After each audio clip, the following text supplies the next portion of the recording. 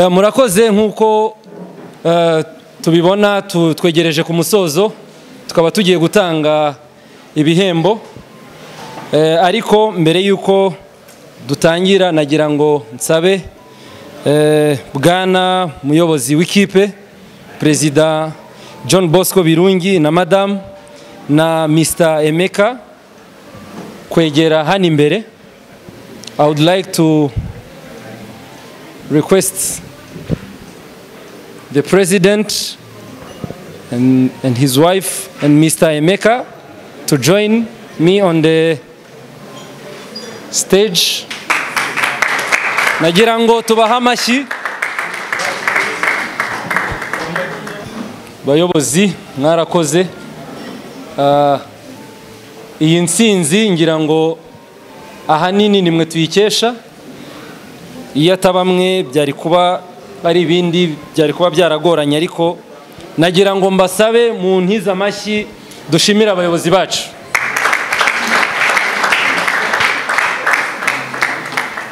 Ntatinze rero nagira ngo dutangire umwanya wacu wo guhemba.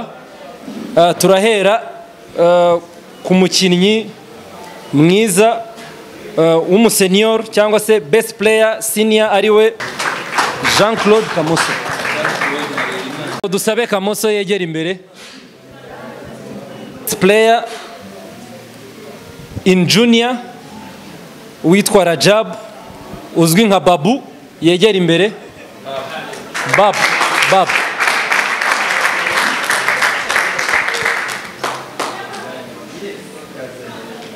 mu mwanya baba ari kwegera imbere turasaba the top scholar of the season in the vision table tennis i mean vision football sorry vision football. Ra rashid mutebi. Rashid mutebi.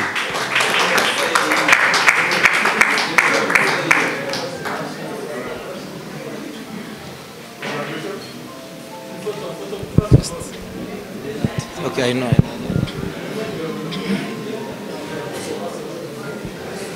turongera dusabe the best goalkeeper of the season ari we mr regis.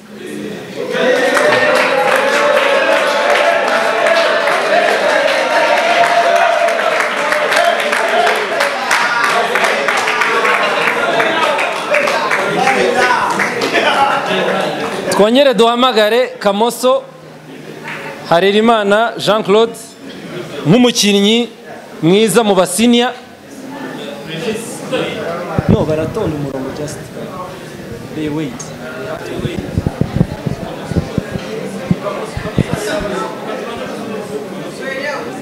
Kamoso egere- twegere imbere baguhe igihembo cyawe nk'umukinnyi witwaye neza.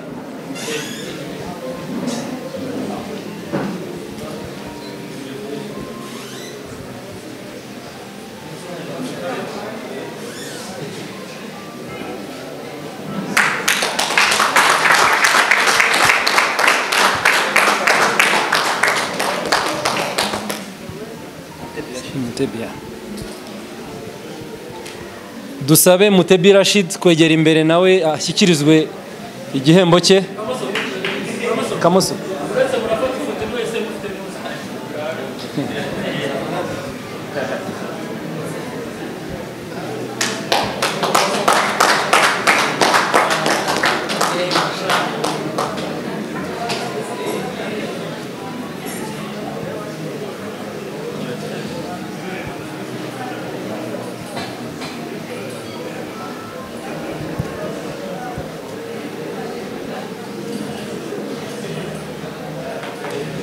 Twongere dusabe the best goalkeeper of of the year mr regis. Nawe wakwegera imbere.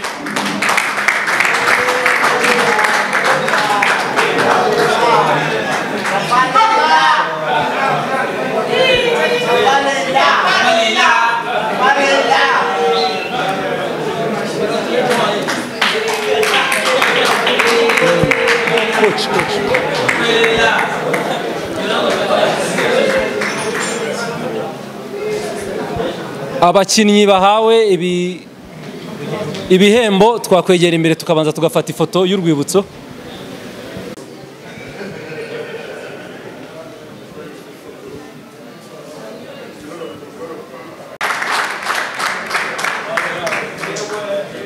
Mu gihe mu gihe tugikomeje gutanga ibihembo nagira ngo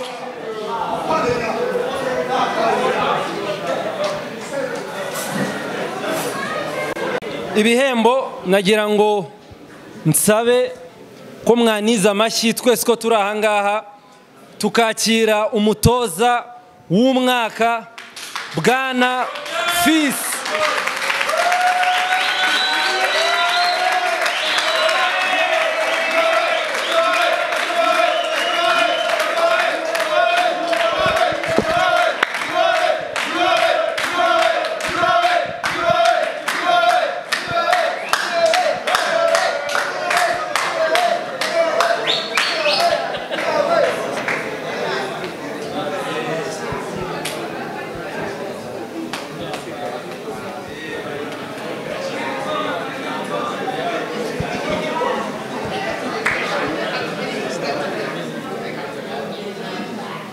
Thank you.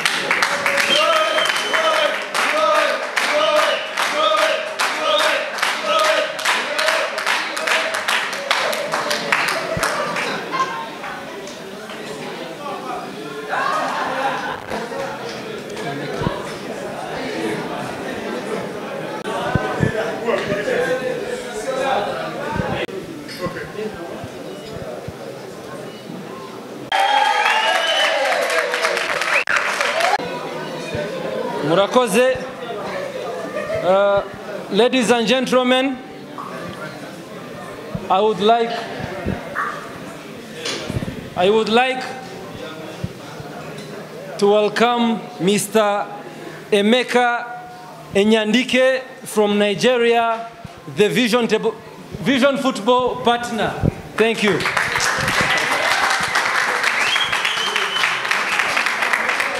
Would like to hand over this award to Mr. Emeka Enyadike. He's our partner, originally from Nigeria but based in Johannesburg, South Africa. He has been with us uh, the past one week, but he, he has also been here before to see us when we were still playing the, the normal season. So he came to see us when we had uh, the regular season and he came for the playoffs. And uh, he saw us on the day we qualified.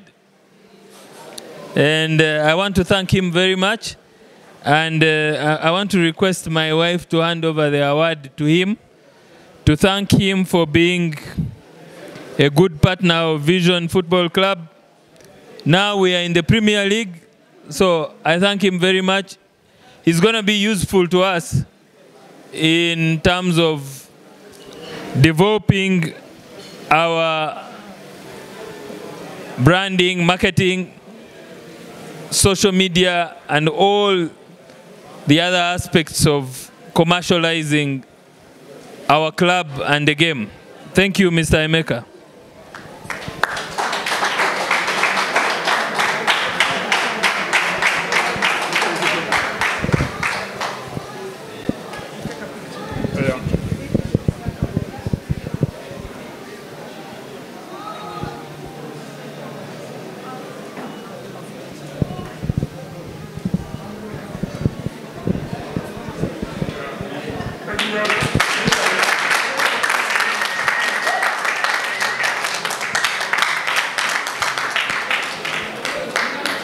Barakoze cyane.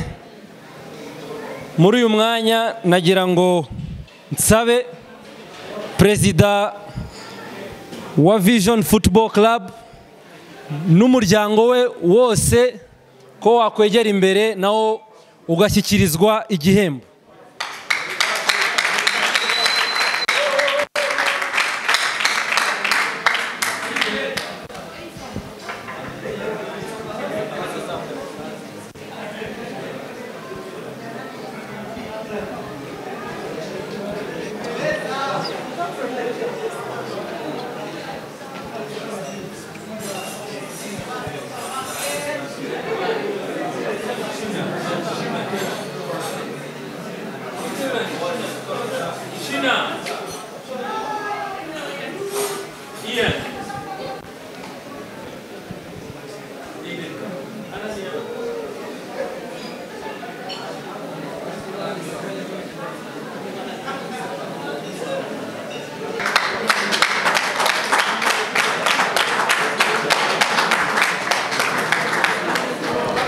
I, I would like to rec-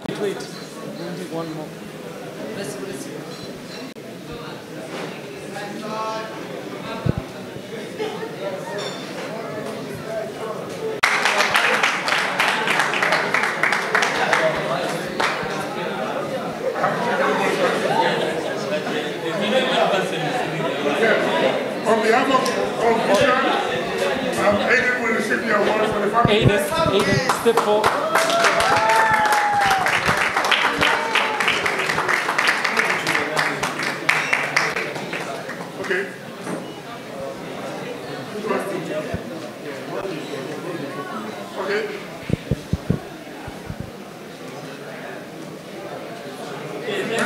Is on behalf of the club. Um, I don't need microphone, do I? okay, so um, um, you can all hear me. So on behalf of the club, appreciation for the family and for the support. Um, thank you very much. Um, this who will receive this? Alana. Alania. Thank you.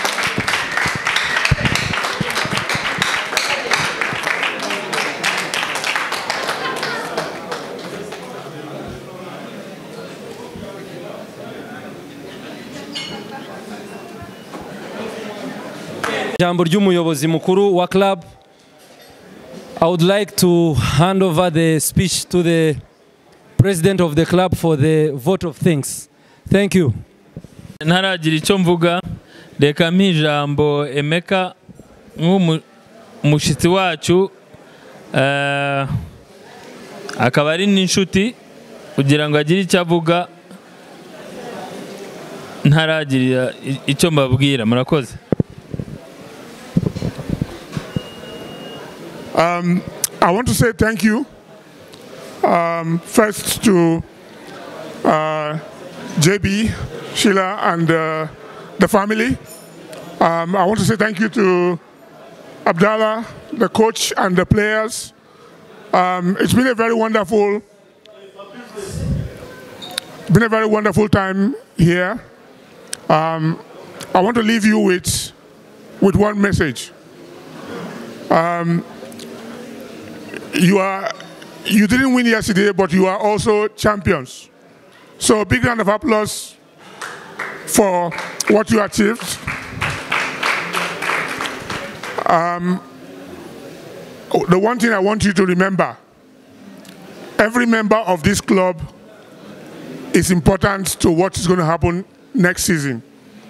The same way you are all important to win promotion. There's not one person. Those who are playing, those who are on the bench, every single member of this team will have their names in gold because you are Premier League players now. Uh, the one thing I want to say, how many of you are on social media? How many of you are in social media? All of you. Okay, I, I want you to remember one thing. Cristiano Ronaldo has more, more fans on social media than most clubs in the world. So he earns more money from social media than he earns from his salary. So we're going to teach you how to use social media to build yourself. And I want you to remember one thing. Football career is a very short career, which means that you cannot play football. For most players, by the age of 35, they are done. So what I'm saying to you is, the years you have remaining, give it your best. But we are going to we are going to we are going to share something with you that will help you to understand that if you break your leg and you're not playing anymore, there's something for you to fall back on. So my promise, this is not this is not JB promising. My promise is that we will make effort either the next time I come or we can also set it up via Zoom or whatever. I, I know I can't speak uh, Kiawanda, but I will have somebody to translate for you. We are going to put you through things that you can do to improve yourself so that when you leave vision, you will have something to fall back on. But one promise I, I want to make, make to you is that We teach you how to use social media so that when you are playing next season, you can help the club and help yourself so that people will know you. Because if I call one person here and I say, a club wants you in Europe, when they go and search you on, on social media, they don't find you. Or they don't find you on the internet. There are two ways you can be found. Number one is to play well. If you play well, you score goals, there will be stories about you. If you defend well, if you are a good goalkeeper, if, if your team wins, maybe in this in this second division you didn't get a lot of media. But one assurance I can give you is that if you play well next season, in fact every game you play in will make sure that there is proper coverage. But the onus is on you to perform. If you play well, you win, you will be in the news. And it's very important. So I'll be flying out shortly, but I want to thank you all because, you know, it, I've, I've enjoyed spending time with you. And I want you to support the, the management, um, support the coach, and do the best. Be proud. You have t-shirts that has promoted on it. If you, I, I don't, there are 16 teams or more in the league. If you multiply all the teams, no, I think it's more than 16. Each, each the second division is like one, one group is how many teams? How many? Second division is 16, 16. Yeah, which group? 28. 14, 14. If you multiply 14 by 30, by 30, and multiply by 2, how many players are there? It's many. But there's only two teams going to the Premier League or the, the Division 1, whichever way you want to call it. And it's your players and the players from Road Zero. They have the trophy, but they can't take away the fact that you're, you're going to the, the top division. So you must, uh, you must remember that what you have achieved is a big deal, big deal because there are few of you going to that division. So I want to leave you with that to know that you are champions in your own right. So for me, I am living here. These photographs, these memories, if I share it on my, on my social media, because people follow me. If I share it, which I will do, they're going to ask, who is Vision? Only the ones that I put when I came the first time, people are, people are interested in, in knowing more about Vision. And I'm happy that I'm going back now to say Vision is no longer second division. They are, what are you? I, I need you to say it. First division. First division. Yeah. So, thank you so much. Eh, Thank you very much. Emeka, thank you for your words of wisdom and uh, your advice that you've given us. Um, ndashaka kubanza gushimira my family, my wife, and uh, all my family members for all the support. Uh, kuba mwaratubaye inyuma muri uru rugendo rurerure rw'imyaka icumi n'ebyiri yo kuzamuka i think now we can celebrate that finally we are in the premier league. Ngira ngo twikomere mu mashyi twese.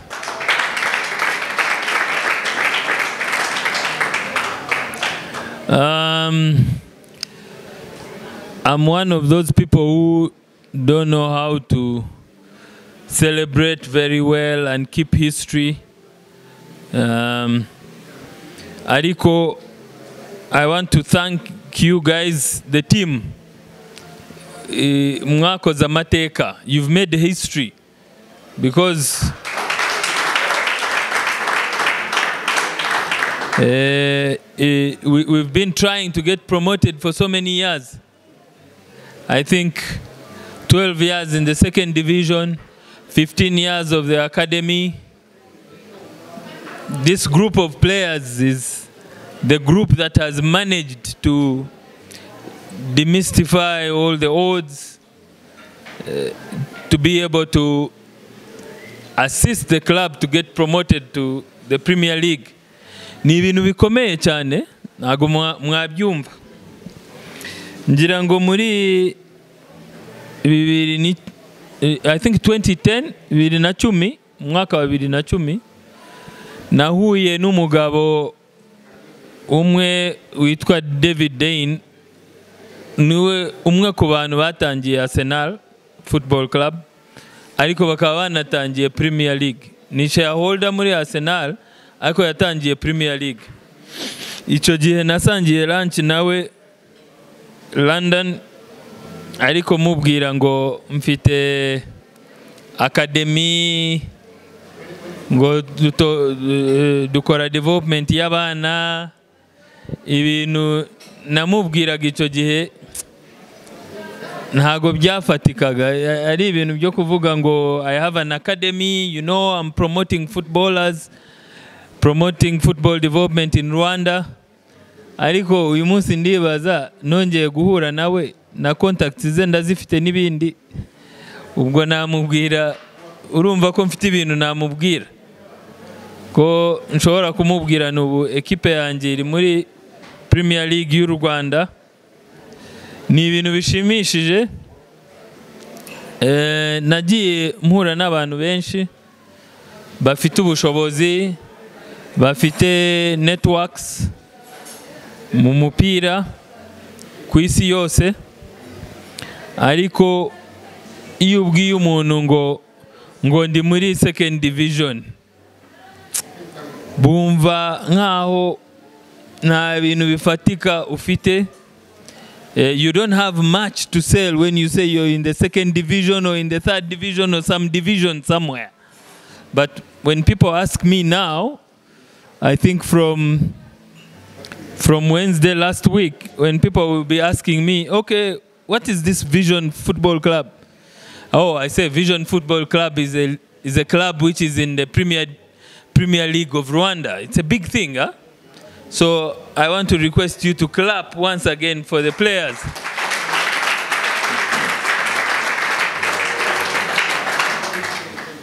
As you know, life is personal and business and work and sports. So I really appreciate my family, my wife, for supporting me in this journey, and friends as well, like Emeka, like others who are not here. I also want to appreciate the sponsors and prospective sponsors. Uh, not many of them are here because of timing. Today was a MTN marathon. There's so many challenges. People couldn't come. So, but we have maybe one sponsor who is around. That's, you see, we are in this beautiful Delight Hotel. Um, Look at Jersey, and Jersey, this is the history. New is Amukana. For Emeka and and Yes. So I want to really appreciate uh, our sponsors, our friends, uh, our family, because being in sports and developing sports is a very hard thing. You know, in our country, it's the government which does everything. Almost everything is done by the government. For how many years are we going to rely on the government doing everything for us? So I think people like me and others, like my friends who have other football clubs, like Kensi, like uh, Haj Yusuf, I'm very happy now to be in the Premier League with them because together we can work together and build the Premier League. abo bantu dufatanyije nari nabatumiye ariko bagize imbogamizi zitandukanye ntabwo bashoboye kuza ariko ni abantu tuzakomeza guf- gufatanya uh, I want to really thank. So, on behalf of the sponsors, let's thank one sponsor first, Delight Hotel. And I think we, as we thank Delight Hotel, I want to ask Boniface to come and receive the award on their behalf. And uh, as we thank Delight Hotel, we also thank in advance Ngufu Jin because they'll probably be our prospect. They'll be one of our sponsors, as you can see them on the media board next year. So Boniface, if you can come and receive the award on behalf of Delight Hotel, we would appreciate that. As uh, I thank our sponsor. Oh, okay, Boniface is here. Thank you very much. Mr. Emeka, please come and hand over the award to Delight Hotel because they have sponsored us. We are in the premises today. They fed us and done a lot for us. Thank you very much. I've also stayed here, so, and I've enjoyed my stay here. Thank you.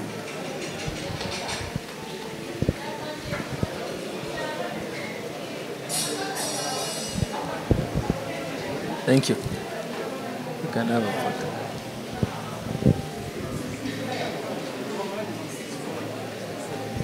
Um, sponsors are very important for a football club like ours because we can't survive without sponsors.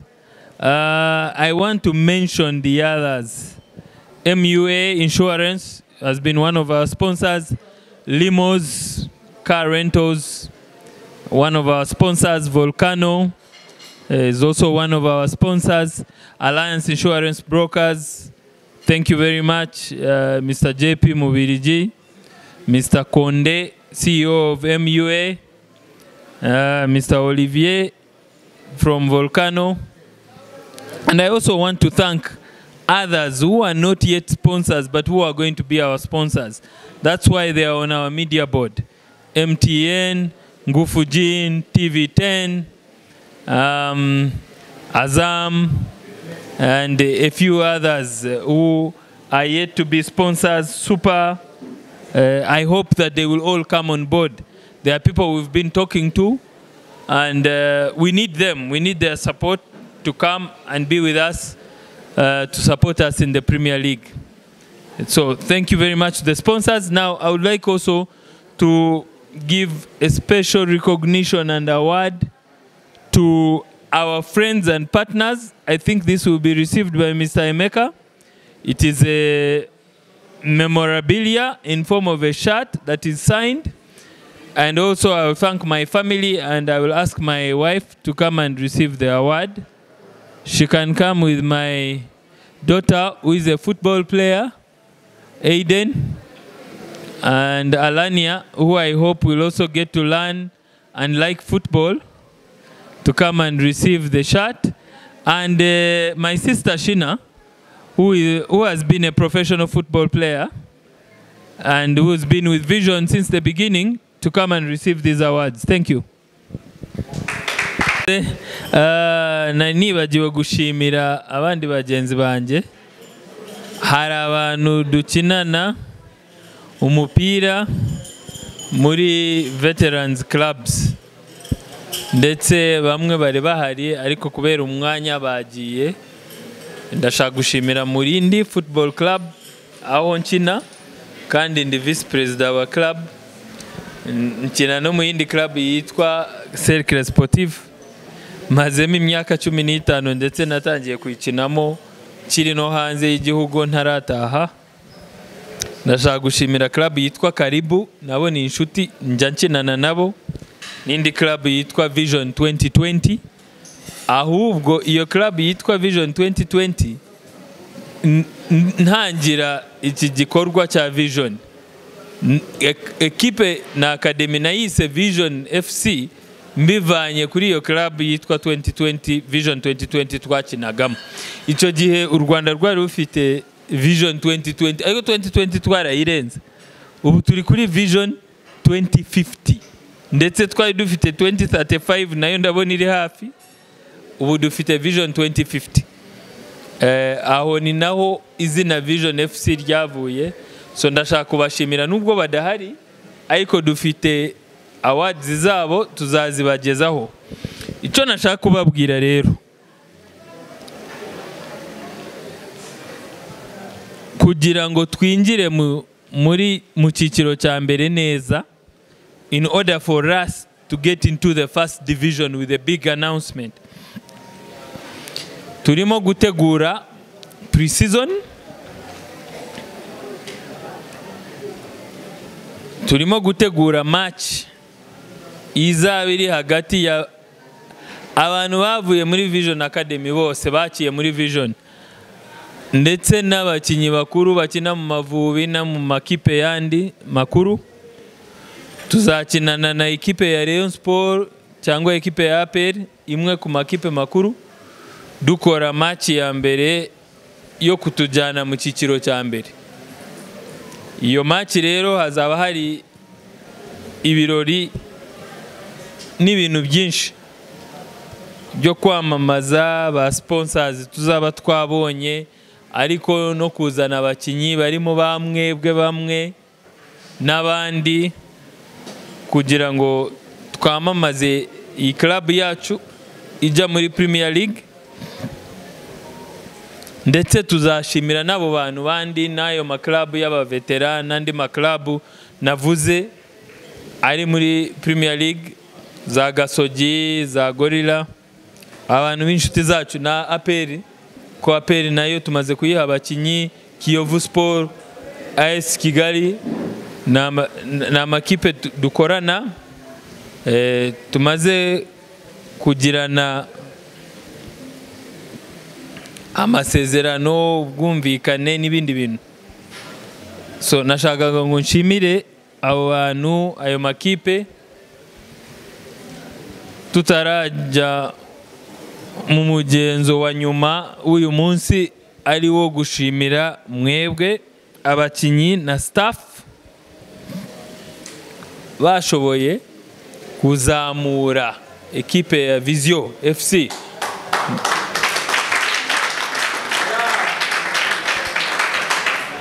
I- turabashimira gute rero?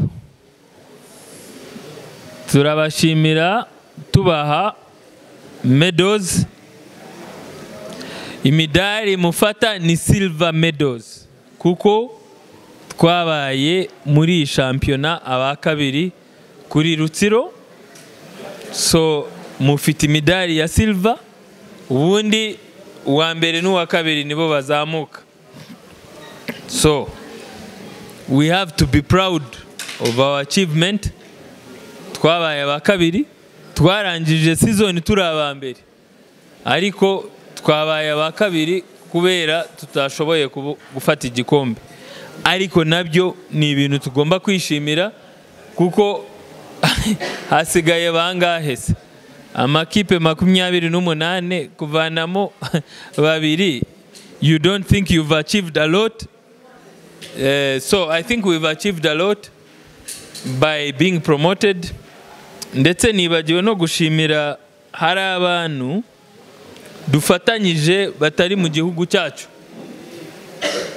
Hari abapartners benshi bari hanze ariko by'umwihariko hari nka proline fc y'i bugande ya mujibu kasure w'inshuti twakomeje kujya i bugande tugakinana nabo. Ni abantu nabo ngomba gushimira ntabibagiwe. Hari edgars academy. Edgar watson ni ceo wa fufa federation ya football y'i bugande nawe ni inshuti yacu. Ndetse twigeze no kugiraho igikorwa cya vision edgars academy. Murabyibuka cyo gutoza abana bato? Ariko kubera covid ni ibintu byamaze igihe cy'imyaka ibiri itatu bi- biba nk'aho bihagarara kubera ibibazo bya covid. Ariko abo bantu nabo ndabashimira. I'm trying to thank our, our partners and friends from other countries. Like uh, uganda i've talked of vision uh, edgar's academy which was a partnership between vision and edgar's academy edgar watson is the ceo of the football federation of uganda and uh, mr mujib kasule who is the founder of proline football club, which is a first division club in Uganda. These are our partners. They are close to us. I'm sure they are very proud of us. They've all sent messages on our group thanking us. So I also want to remember them because they've been part of the journey, this whole journey of struggling and finally being promoted to the Premier League. So I think that's the last word of thanks. If I've forgotten to thank anyone, uh, they should know that I've thanked them. Anyone who's been part of this journey. I have friends like Al Bishel, Steve Macaulay, Volkan Kazova, um, and other friends in, in Rwanda, other friends who are outside of Rwanda who have been part of the vision journey. I thank them very much.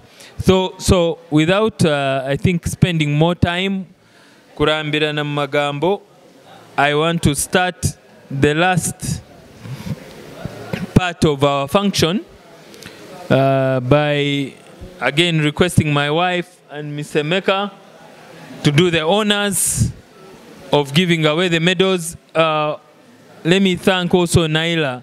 I think we'll thank her because Naila represents the fan club of Vision. Can we clap for her? Naila, please come here so we can recognize you. Thank you very much. Uh, you know, football is about media, it's about fans, building a fan base. Naila has volunteered to help us in building the Vision Fan Club. So we thank her very much, and she's very much part of us. Thank you very much, and we recognize you. Thank you. So, I think we can start giving away the medals. Uh, we are thanking you by giving you medals, but also by giving you a promotion bonus. Uh, our promotion bonus for each player is $200, and today,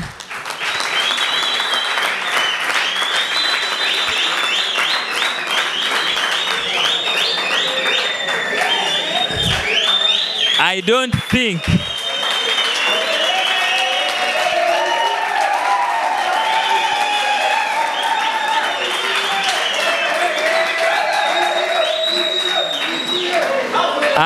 Eh? Okay.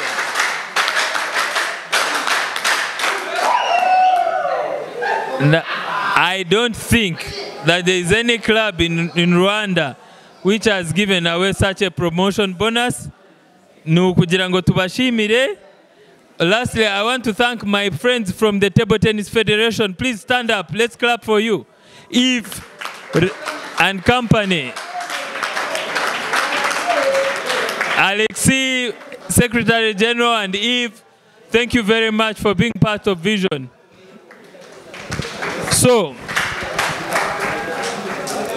ndashaka kubashimira iyo bonus tura- ni iyo kubashimira kuba mwaradufashije kuzamuka.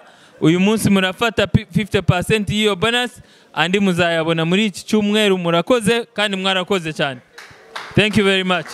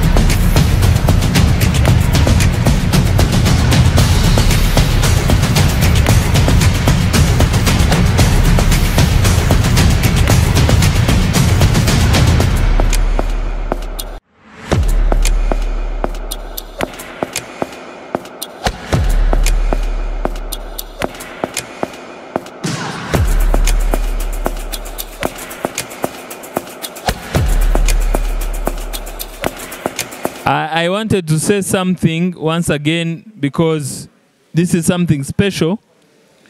Uh, our player here from the Republic of Cameroon, can we clap for him? Let him tell us his names.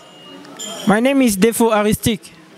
Aristik is one of our players who has been with Vision the whole season, but he has not played in the league, in the in the promotion. He's a very good player. We like him. He has been contracted with Vision, but he has not played, and he has been patient the whole season. yarihanganye kudakina ariko agumana natwe ari akaza mu antrenema akaza kureba ama matches ariko sakine kubera habayeho ibibazo bya transfer muri FIFA ariko turamushimira kuba yarihanganye we thank you for being patient. Merci beaucoup pour votre patience. Ubu turamutegereje kugira ngo azadufashe ubwo twazamutse mu cyiciro cya mbere. We are waiting for you to come and show us what you have. So aristic thank you very much for being patient with us. Uh, mr emeka he's one of our future talents from cameroon. He's a young man and we are looking forward to what he's going to do for us in the premier league. Thank you. Mutwihanganire. Hari abantu bane basigaye tugomba gushimira. Ni abantu bakunda umupira kandi bakunda viziyo umuntu wa mbere nshaka gushimira ni Naila nk'uko nari nabivuze yaza nawe tukamuha umudari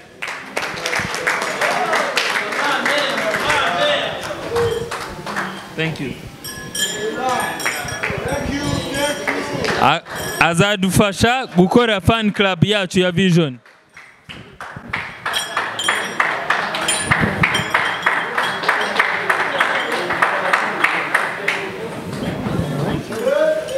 umuntu wa kabiri dushaka gushimira ni umukobwa wanjye ukunda umupira cyane kandi ukina Aiden. Arakina kandi akaba n'umuyobozi mu ekipe ye mu ishuri ndetse bari hafi kumwirukana mu ishuri kubera yatonganye n'umutoza.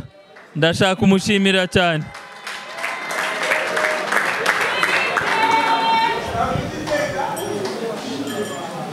Thank you. For the revolution at school. What did I do?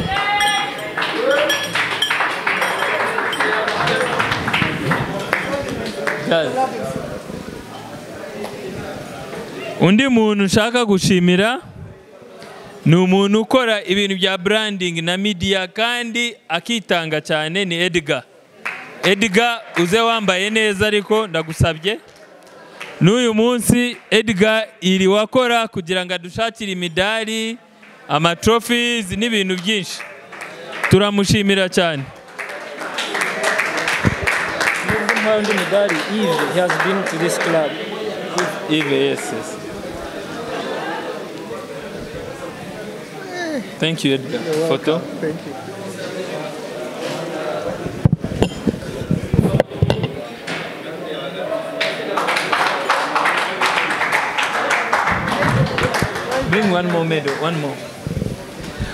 Harabura babiri, undi muntu nshaka gushimira ni umuntu witwa Yves Ndizeye wabayeho manager wa Vision.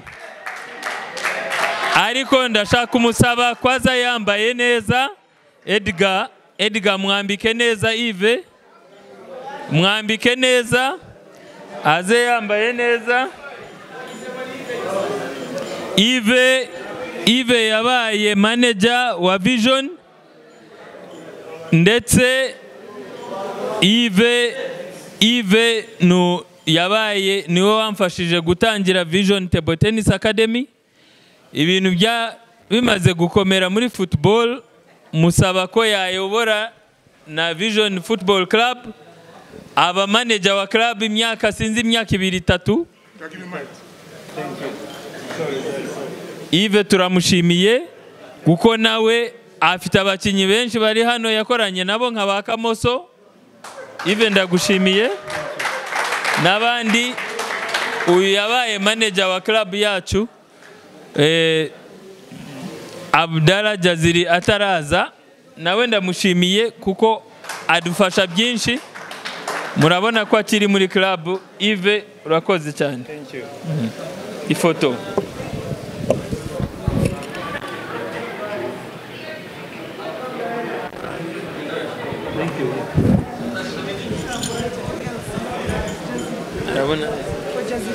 Umuntu wa nyuma dushaka gushimira uyu munsi niba nta wundi twibagiwe ni manager wacu.